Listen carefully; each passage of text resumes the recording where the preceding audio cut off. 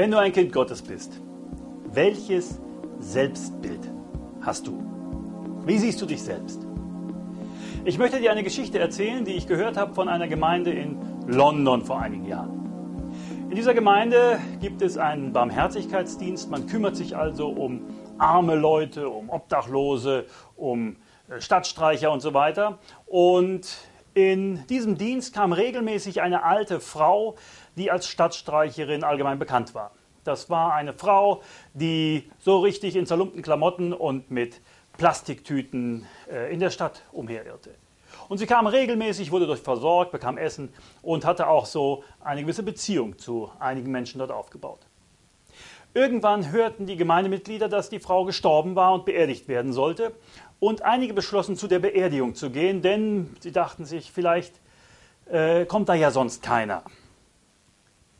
Umso größer waren sie erstaunt, als sie dorthin kamen an den Friedhof und feststellten, dass da ein Luxusauto nach dem anderen stand. Bentley, Rolls-Royce und so weiter. Und innen drin war eine sehr illustre äh, Gesellschaft von sehr wohlhabenden Leuten angesammelt, äh, die dort bei der Beerdigung waren.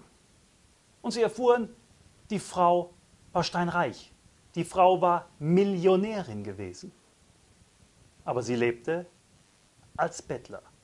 Irgendetwas in ihrem Leben hat zu irgendeinem Zeitpunkt sie davon abgehalten, das zu nehmen, was ihr eigentlich zustand und rastlos umherzuirren und von der Güte und dem Wohlwollen und der Versorgung anderer abhängig zu sein. Lebst du vielleicht in einer ähnlichen Situation? Geht es dir vielleicht in deinem Leben ganz ähnlich?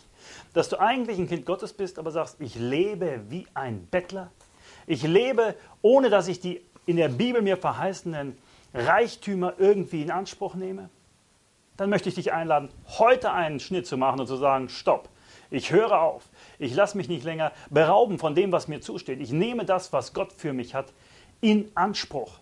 Ich will als Königskind nicht länger wie ein Bettler leben. Die Heilige Schrift sagt uns, mein Gott aber wird alles, wessen ihr bedürft, erfüllen nach seinem Reichtum in Herrlichkeit in Christus Jesus.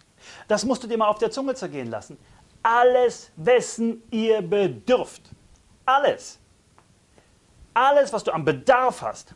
Alles, was du brauchst. Er wird es dir geben. Er will dich damit versorgen. Du bist nicht irgendwer. Du gehörst zur richtigen Familie. Du bist ein Kind Gottes.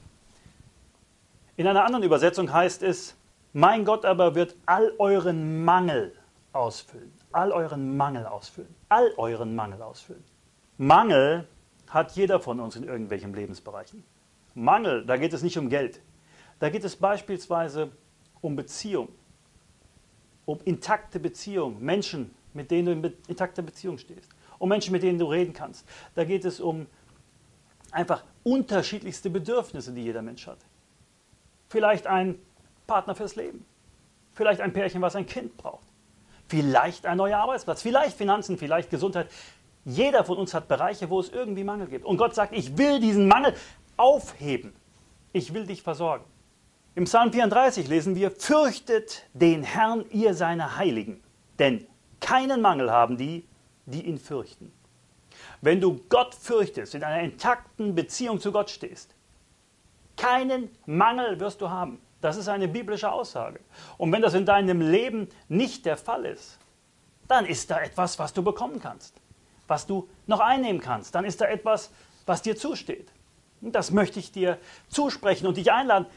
Mach dich daraufhin äh, auf den Weg, das in Empfang zu nehmen.